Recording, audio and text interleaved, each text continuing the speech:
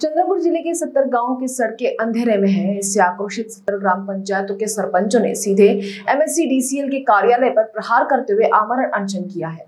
अशी कशी जोडत नाही अशी कशी जोडत नाही संघटनेचा एमएसीबीचा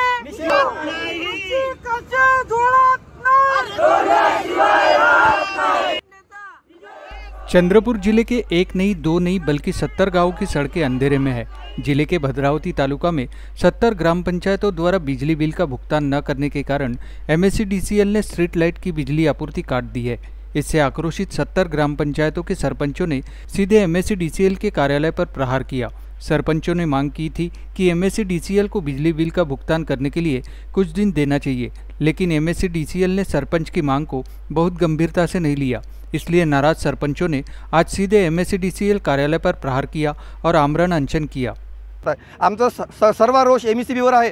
त्यांनी ज्या पद्धतीने आमच्यावर भूर्दंड लाग लाव लावलेला आहे बिल भरण्याचा त्याच पद्धतीनं एम एस सी बीनं सुद्धा आमच्या ग्रामपंचायती ग्रामपंचायतीमध्ये जे जे तुमचे अवजार हे असेल तुमचे इन्स्ट्रुमेंट असेल त्याच्यावर सुद्धा आम्ही ग्रामपंचायत कर लावतो आणि तो बी कर आम्हाला तुम्ही द्या आम्ही तुमची वीज बिल भरतो. अशा पद्धतीचा आम्ही मागणी या ठिकाणी वारंवार केलेली आहे. मला सरकारला विनंतीपूर्वक सांगायचं आहे. आमच्या सत्तर ग्रामपंचायतीचाच विषय नाही तर संपूर्ण चंद्रपूर जिल्ह्याचा विषय आहे.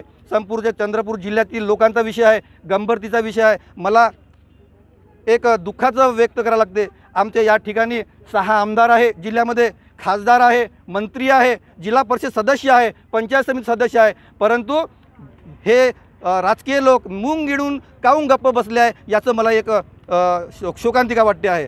कारण हा गंभीर विषय असून शेतकऱ्यांचा विषय असून एकीकडे म्हणतात का गाव शेत शेतकऱ्यांना तुम्ही शहराकडे जाऊ नका आणि दुसरीकडे म्हणतात का शेतकऱ्यांची वीज ब वीज बिल कापा शेतकऱ्यांच्या गावातील वीज कापा.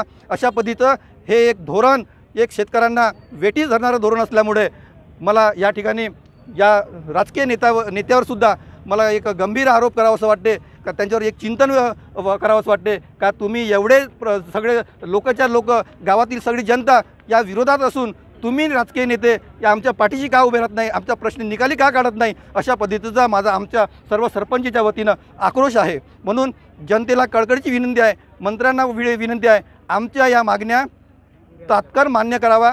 आमच्या गावातील संपूर्ण रस्त्यावरील वीज पुरवठा सुरळीत सुरू करावा. अन्यथा आम्ही या ठिकाणी उपोषणाला बसीन. जोपर्यंत तुम्ही आम्हाला निर्णय देणार नाही जोपर्यंत आमच्या गावातील सर्व लाईन सुरू करणार नाही तोपर्यंत आम्ही इथून हटणार नाही. काही झालं तरी चालेल. आम्ही एक एक निष्ठ एक संघ आणि एकत्र आहोत. सरपंच संघटना!